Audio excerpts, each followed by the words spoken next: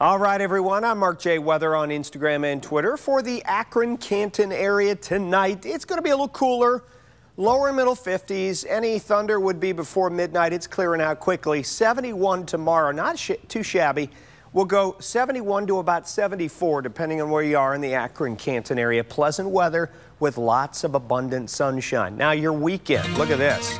I'm thinking lower and middle 80s, some areas even a little warmer than that. Scattered thunder by late afternoon. Could be a morning thunder shower and then evening-ish for a severe thunderstorm. Sunday, it's scattered rain and thunder 79. Monday, let's keep you dry for the holiday. 78. Have a great night.